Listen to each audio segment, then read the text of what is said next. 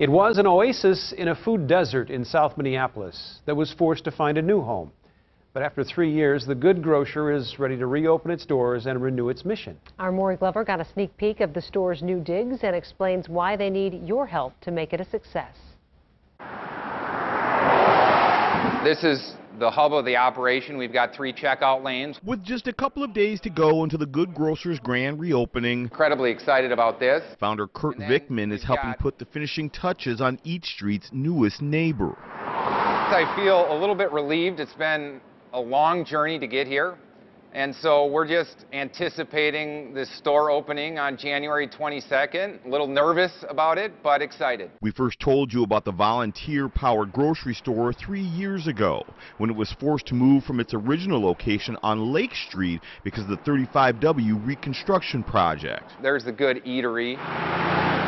Since then, it has built a new home five blocks away at 27th and Nicollet, where it will still be within walking distance for many of its customers who don't have cars. This little pocket of Eat Street is kind of void of a full service grocery store in some ways. And so we feel like this is the perfect location for what we're trying to do as it relates to provide this community and this neighborhood with really some high quality groceries at a dramatically reduced price. New additions to the store include a produce department twice the size of the old one and a grab and go counter, along with a food outlet where qualified customers facing food insecurity can buy staples for up to 50% off. We're really excited about this place. But it still needs 300 volunteers who get 20% off their groceries for two and a half hours a month to do everything from stock the shelves to work the cash register. This model allows people to come in to contribute their time and save a ton of money on their groceries in a way that's not just a handout,